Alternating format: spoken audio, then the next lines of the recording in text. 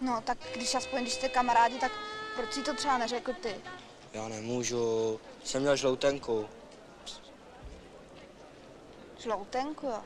Jste teda divný kluci. Ona je divná, Břenčendu nezná. Se mi mohla zeptat, abych jí řekl, proč se opil. No a prosím tě, co by si asi tak řekl? No, jaký je Čenda machr? Machr? No, mistr nechal dělat roh? Roh?